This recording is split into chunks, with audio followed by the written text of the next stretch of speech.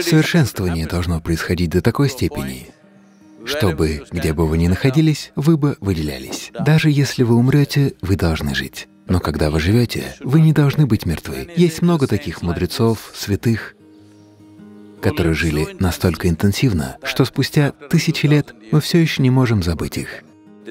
С вами должно произойти так много, чтобы ваше тело, ум, эмоции, энергии не стали препятствием в вашей жизни.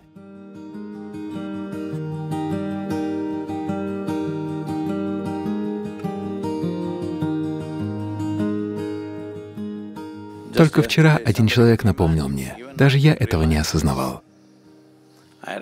У меня был очень жесткий график в Соединенных Штатах и Великобритании.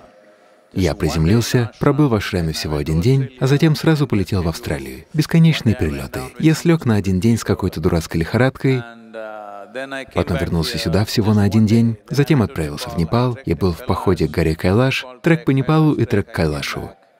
И вернулся даже не на один день, а на полдня. А потом сразу началась кампания «Зов Кавари», в ходе которой я был в пятидневном туре по Индии, где, как вы знаете, пытался разобраться со всеми этими политическими делами для «Зова Кавари». Я вернулся и в тот же день отправился на «Зов Кавари».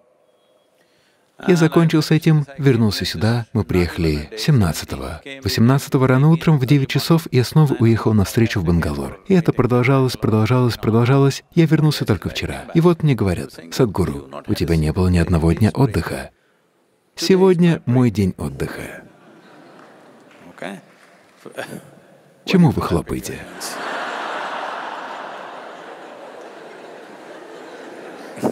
С самого утра меня ждали горы документов. И вот теперь вы, потом будут встречи и опять встречи в 11 часов Калабайрова карма, ведь сегодня Махалая Амавасия. Это называется день отдыха.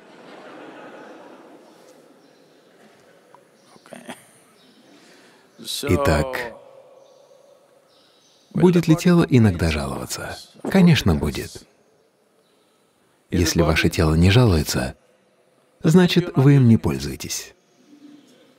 Да? Оно должно жаловаться. А вот вам жаловаться не нужно. Это все, чему вам нужно научиться. Для этого вам нужна преданность тому, что вы делаете. Если у вас нет преданности, то еще до тела начнет жаловаться ум, эмоции, все будет жаловаться. Нет, нет. Первым должно жаловаться тело. Это значит, что физически вы на пределе. В таком случае ум сможет принять немного более разумное решение. Как и вы, как и я, вы можете сделать перерыв. Это означает, что вы активны только до 12 ночи. Только до полуночи. После этого вы спите. В противном случае это продолжалось бы до двух часов ночи.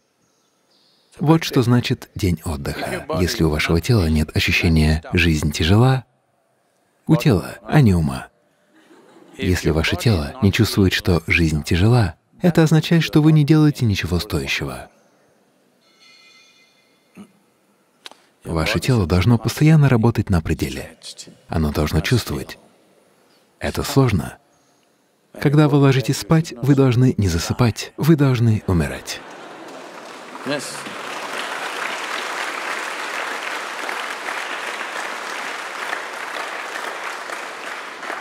Одна подушка вот так.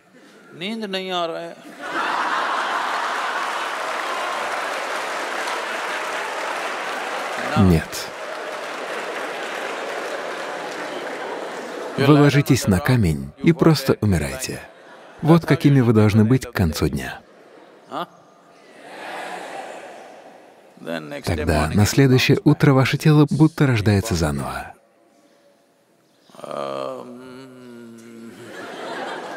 Но так нет. Вы должны обязательно чувствовать, что для организма это тяжело, потому что такова его природа. Чем больше вы нагружаете тело, тем сильнее и лучше оно становится.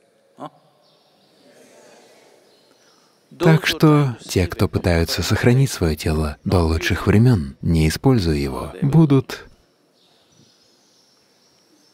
Жизнь нельзя сохранить, необходимо понять это. Можно сохранить мертвые вещи. Жизнь нельзя сохранить, ее можно только питать и использовать.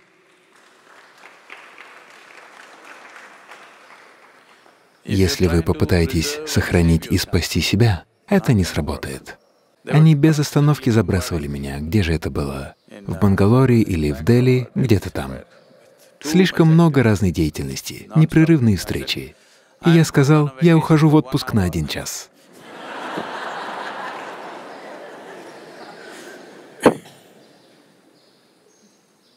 Когда вы молоды, в вашей жизни не должно быть даже такого часового отпуска. Да? Иначе вы слишком быстро состаритесь. Да?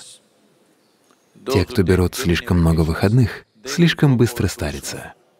Когда вы молоды, не должно быть и пяти минут отпуска. Это не значит, что вы делаете то, делаете это. Это означает, что так или иначе вы постоянно совершенствуете себя, либо с помощью внешней работы, либо с помощью внутренней. Но совершенствование должно происходить до такого момента, когда, где бы вы ни стояли, вы бы выделялись. Это не соревнование с кем-то другим. Ваша собственная жизнь должна развиться на полную. Не так ли? Вот эта жизнь должна развиться на полную, не так ли? Это то, к чему стремится каждая жизнь. Это применимо не только к нам. Кокосовая пальма делает все возможное, чтобы стать хорошей, полноценной кокосовой пальмой. Такова птица, таков кузнечик, таков червяк, слон, таково все. Разве не так? Только человек постоянно сомневается, потому что он еще не научился управлять собственной мозговой деятельностью. Ваши мысли просто сбивают вас с толку. Даже самый простой вопрос — должен ли я стать полноценной жизнью или нет — стал предметом споров, и люди думают, что это интеллектуальное занятие. Да? Нужно или нет становиться полноценным человеком? Разве здесь есть о чем рассуждать? Здесь не о чем спорить. Так работает жизнь. Это должно стать полноценной жизнью. Если это станет полноценной жизнью, тогда что оно будет делать? Не имеет значения, что оно делает. Что бы оно ни делало, оно будет делать это очень хорошо. Вот и все. Что бы оно ни делало, оно будет делать это хорошо. Вот и все, что имеет значение. В мире важен не только какой-то один вид деятельности, важен каждый вид деятельности. Если что-то сделано хорошо, это замечательно, чем бы это ни было. Кто-то подметает пол. Видите, они хорошо поработали. Разве это не замечательно? Разве это менее важно работа, чем что-то другое? Итак, для того, чтобы смотреть на все одинаково, чтобы все время функционировать на полной скорости, вам нужна преданность, нужен огонь преданности.